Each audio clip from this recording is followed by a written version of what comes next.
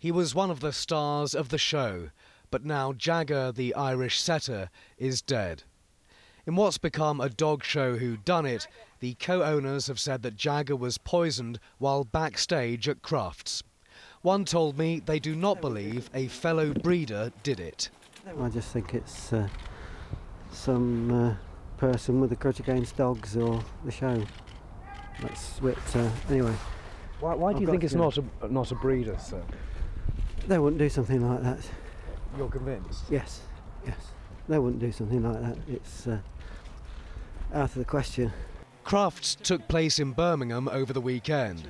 This Irish setter, which got through to the Gundog final, is called Pot Noodle and is the half brother of Jagger. The owners believe while they were with Pot Noodle, Jagger was being fed poisoned beef backstage. The Kennel Club wasn't giving interviews today, but did make this statement. The Kennel Club is deeply shocked and saddened to hear that Jagger, the Irish setter, died some 26 hours after leaving Crufts. We've spoken to his owners and our heartfelt sympathies go out to them. At their home near Leicester, Jagger's owners believe the media has turned this into an anti dog show story, but they were prepared to make this statement this afternoon. I certainly don't want our dog shows, the places we work so hard to get to, become a ground of finger pointing and suspicion. I therefore need you all to know that we can't and we won't think this was an act of another exhibitor.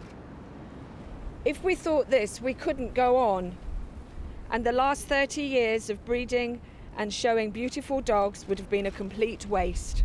If it was someone with a grudge against dog shows, they're keeping a low profile. And with police still waiting for a complaint to be made, who killed Jagger may be an unsolved dog show whodunit for years to come. Simon Vigar, 5 News, Leicester.